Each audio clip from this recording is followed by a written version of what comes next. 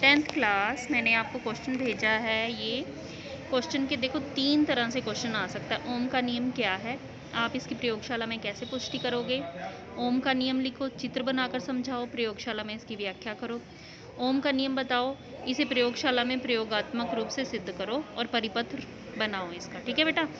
अब ये क्वेश्चन जो किसी भी तरीके से आ सकता है, और ये आप देख रहे हो कि दो बार आ भी चुका है, ये बहुत इंपॉर्टेंट क्वेश्चन है और हमेशा आता है। इस बार भी जब पेपर होने हैं तो आपने ये क्वेश्चन ज़रूर याद करना है, ठीक है बेटा?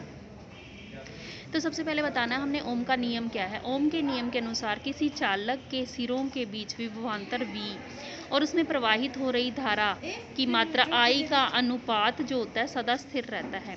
यदि चालक की भौतिक परिस्थितियाँ कौन कौन सी, ताप और दाब जो है वो ना बदले। तो v बटा आई इज़ इक्वल टू क्या होता है? आर v क्या हो गया? विभवान्तर आई क्या होता है इसमें? धारा के लिए होता है ठीक है? तो इनका अनुपात क्या हो गया? वी बटा आई इज़ इक्वल टू हमेशा आर आएगा। इसके लिए हमने ये बनाना होता है परिपथ बनाना होता है कि ऐसे इस तरीके से हम इसको लगाएँगे। यहाँ पे वोल्ट मीटर लगाया जाता है। यहाँ पे ये तारा बेटा तार दी हुई है।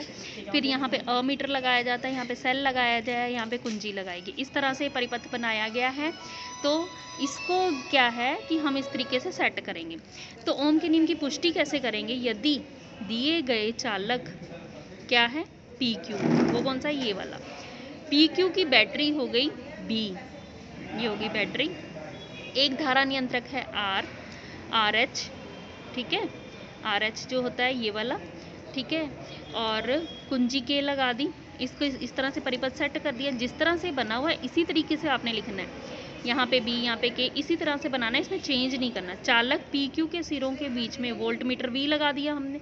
ये वी हो गया, ये विभवान्तर हमें बताएगा, ठीक है?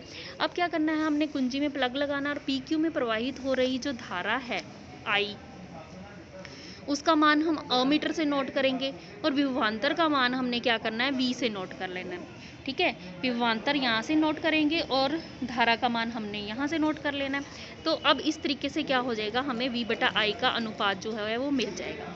इस तरह से हम एक रीडिंग लेंगे, उसके बाद में फिर से हमने क्या करना है, नियंत्रक की सहायता से परिपथ में धारा का जो मूल्य है, वो बदलेंगे। धारा का मूल्य बदलेंगे, फिर से हम क्या करेंगे, वोल्ट मीटर और अमीटर में नया पाठ्यांक निकाल निकाल लेंगे। इस तरह से हमने कई सारी रीडिंग्स ले लेनी है, उनको वी वन बटा आई वन कर देना है वी टू बटा आई टू कर देंगे। तो हम देखेंगे कि इनका मान जो होता है, वो हमेशा क्या आता है, एक स्थिरांक ही आता है। तो इसको हम ऐसे लिख देंगे, v बटा I is equal to V one बटा आई वन इज़ बटा वी टू बटा I two is equal to ये क्या आता है? स्थिरांक आता है, जिसे हम क्या बोलते हैं? आर जो कि क्या होता है? प्रतिरोध होता है। इस तरह से ओम के नियम की पुष्टि होती है, क्योंकि ओम का नियम यही बताता है कि चालक के सिरों के बीच में विभवान्तर V और उसमें प्रवाहित हो, हो रही धारा I का अनुपात क्या होता है? हमेशा स्थिर होता है। और इस तरह से अगर हम इनके बीच में ग्राफ खींचते हैं ठीक है? तो ग्राफ खींचने पर क्या हो जाता है? विद्युत धारा तथा विपांतर के बीच में ग्राफ खींचने पर, पर हमेशा एक सीधी रेखा आती है जो कि ओम के नियम की पुष्टि करती है।